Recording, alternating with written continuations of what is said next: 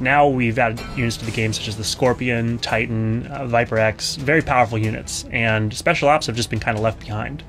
So we wanted to add some of these more modern units to special ops to make them more useful for the existing player base. Besides just those special ops that are adding units like the old special ops, we've created three entirely new kinds of offensive special ops that have very unique, cool functionality. One allows all your units to shock everything in the battle on offense. So, you know, you can take your Banshees in and they're actually going to be applying shock to turrets. There's another one that does the same thing with cryo, so all of your units will apply the cryo effect in combat.